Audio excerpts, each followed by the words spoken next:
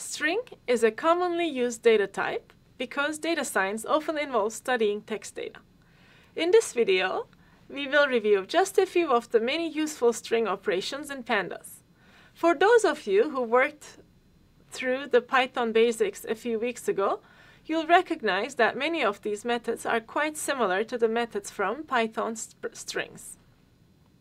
By the end of this video, you should be able to describe what operations the string methods can perform, navigate your way to find the right string method for you, and perform basic string operations in pandas. One of the most important string operations is split. It helps with separating data into pieces around a delimiter character. For example, the city column in the df data frame here is split around the underscore character returning an object with arrays of all the pieces for each row in the city column.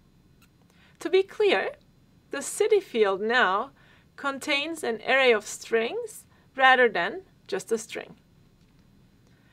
For the split function itself, notice that city underscore 0 has been turned into two strings, city and 0. The same has been applied for each string in the city column. The function contains provides a simple way to check if a string has a given character in it. We already used this in our live video coding sessions before, but let's look at this example when we check if any of the values in the city column contains 2 as a character. We see that only index 2 has it. So the result is a Boolean series with only one true value for that index 2. Using the replace operation, we can replace a substring with another one. For example, we are replacing the underscore character with two hashtags here. The extract function will return the first match for a regular expression it finds. The top example here is a regular expression to extract words in a string, and the bottom example is how we can extract the strings. In general, extract can be a quick way to get new features and values.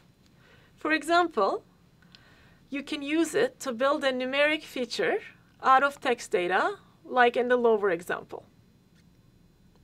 In summary, string operations can be very handy in data cleaning. Please use the link provided here to get started on exploring more string operations to make yourself familiar with the rest of them. Okay, now let's see a few string functions in actions. As a reminder, the movies table has the title and genres columns. Both of these columns, however, have composite information. Let's use some string operations to separate out the values here. When I said composite operation, I meant uh, Toy Story has also the um, year, and genres has more than one genre, uh, all um, stringed together by those pipe characters. So we will start by the split function to convert each value in the genres into a separate column for each movie. We need to select the genres column from the movies. And on each row, or to that whole data frame column, we will use the split function, str.split, with pipe as the separator. Normally, the split function will return a series of lists. By providing expand true option here that we have um, given to the split operation, we make sure the output is not just a series of uh, lists, but it's an actual data frame. We see it as a data frame. So let me run this. And display the first 10 rows in that new data frame. Okay? Um, you can also uh, add a new column to detect each genre if it's comedy or not. This will be handy when creating new features in your machine learning course later in the MicroMasters. Um, what we are doing here is um, now we split all the genres into a separate data frame. So when we look at that, um, this would be normally adventure pipe, animation pipe, children. So we have this data frame. Uh, probably one of the rows has nine uh, genres in it, uh, which is why we have um, nine columns here.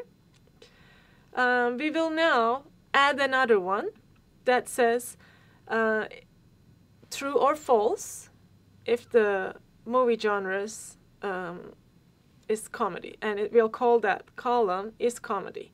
So let's run that and select the first 10. Now we see that last column is called isComedy. It's added to the same movie genres data frame, and it has true or false values. Lastly, let's yet add yet another column called year. And we'll separate out uh, the year from that title that we've seen in the original data frame. So what we'll do is we'll extract out, for example, 1995 as a separate column uh, instead of together with the movie title. We will use the extract operation here. We are selecting the title from the movies and we'll provide it a regular expression similar to what we had in our stream editor discussion in the Unix part earlier in this class. This regular expression here says uh, extract any value in between the parentheses in that um, string value that comes out of that movie's title column for that row. And if you remember, expand true will make it a data frame. So we're adding to the movie's data frame, not to this uh, new one that we made, movie genres one, but the original movie's data frame. And we'll call that new column year. So what we extracted as the year using this extract function and regular expression will be copied as a new column at the end of movies.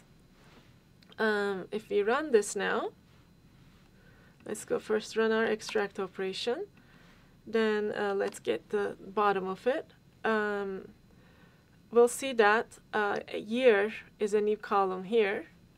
Um, and it just gives us the year uh, that was mentioned at the end of the title um, in a new column. This could be pretty useful when we are doing quick grouping over that year. All the movies in, for example, year 2007, uh, we'll need to group that by with that year column. Initially, we couldn't do this because it's a part of that uh, title. So um, there are many other string operations, of course, and your ability to work with text data will often depend on your knowledge of these functions. We can't list all of them or give you examples on all of them, unfortunately, but please spend some time going through these operations at this link that we provide here. Uh, we'll also, of course, have some more examples in the upcoming notebooks.